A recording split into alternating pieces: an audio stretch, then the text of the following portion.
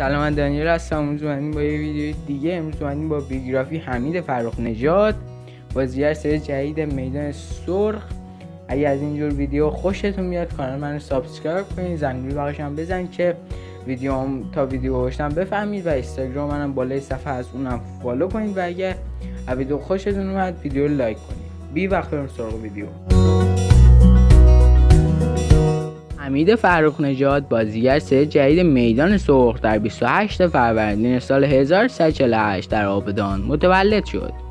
او فارغ التحصیل لیسانس کارگردانی تاد از دانشگاه تهران داره. او بازیگری رو با کار دستیاری در سال 1369 شروع کرد و بعدها وارد نویسندگی هم شد.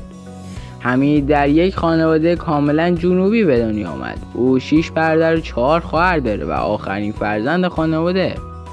پدر مرحوم او ناخدا لنج بوده. او تا نه سالگی در آبادان زندگی کرده و با شروع جنگ تملی به ماه شهر رفت. تا اینکه در دبیرستان سربندر ساکن شدند. جالبی که بدونید او با اسقر فرهادی هم کلاس بوده. فرخ نژاد در سال 69 برای اولین بار بازیگری رو تجربه کرد. او در این سال در فیلم کوچه های عشق بازی کرد و بعد از این کار دستیار آقای سینایی شد. او نویسندگی را از فیلم کوچه پاییز شروع کرد و در فیلم عروس آتش بسیار مورد توجه قرار گرفت. او در سال 86 در سریال تلویزیون حلقه سبز بازی کرد و این اولین فعالیت او در تلویزیون بود و در سال 87 در سریال آغوش های خالی بازی کرد. او در دانشگاه با همسرش فروزان جلیلی فر آشنا میشه و با هم ازدواج می‌کنند حاصل این ازدواج یک پسر به نام فرید بود. خانم جلیلی فر در رشته طراحی صحنه تحصیل کرده و یکی از کارهای بیاد موندنیشون طراحی صحنه سیر قهوه تلخه. جالبی که بدونید او اقامت آمریکا هم داره و در حال حاضر پسر و همسرش در آمریکا زندگی می‌کنن.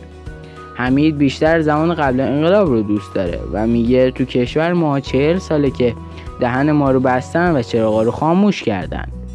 او در سال 98 به ممنوع هنرمندان معترض شد و اعلام کرد که ما هنرمندان تا مدتی جشنواره فجر رو تحریم می‌کنیم تا هنرمندان رو تهدید نکنید هم که این ویدیو رو دیدین اگر این جور ویدیو خوشتون میاد کانال منو subscribe کنین زنگوله هم بزن که اولین دفعه باشین که بفهمید ویدیو می‌ذارم.